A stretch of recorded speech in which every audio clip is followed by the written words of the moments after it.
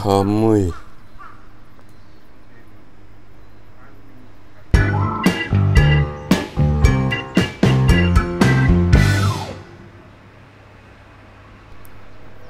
おはようございます。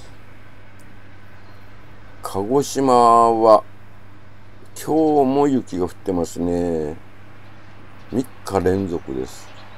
3日連続で雪が降るっていうのは私の記憶にはないですね。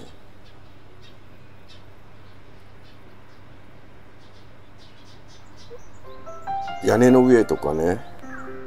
下の道とか。うっすらと雪が積もってます。これは8時頃ね。出かけないといけないんですけどちょっと無理ですね。私の家はねちょっと坂になってるんですよ。大通りに出るまでね。車がね走ってる道路はいいんでしょうけどこう住宅街のね路地に入ると雪が積もってるんでおまけに坂道なんでね。タイヤはノーマルタイヤだし。もう無理ですね出るのはね。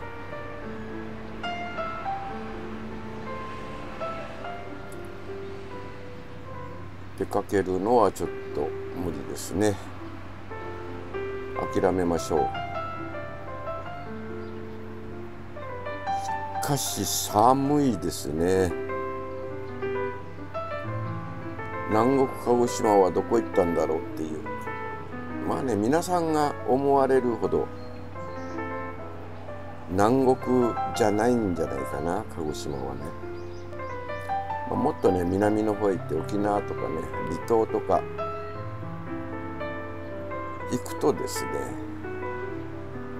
南国なんでしょうが奄美大島より南かな？南国って言ったらやっぱり鹿児島はねこうやって雪も降るし南国じゃないんじゃないかなっていうような気がしますね。まあ、皆さんが思われるような南国じゃないですね。ということで3日連続でね鹿児島は雪が降ってます寒いですねいや寒い。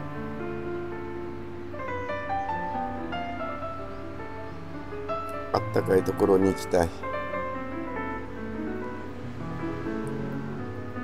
ということで今回も3日連続で鹿児島は雪が降ってますっていうビデオになりました。こんな鹿児島はね私今まで記憶にないんですよね。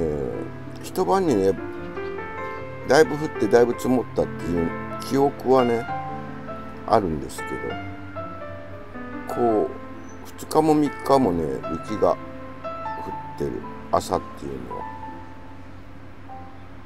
記憶にないですね。まあ夜のうちにねたくさん降ってないんで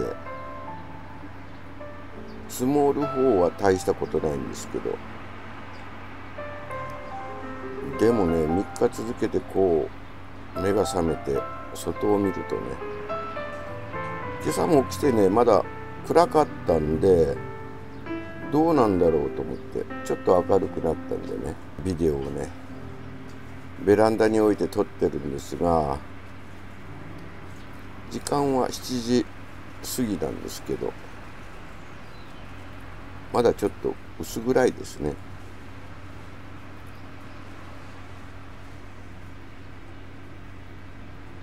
まあとにかく寒いです。とてもベランダにねずっと立っておられる状況じゃないですね。以上。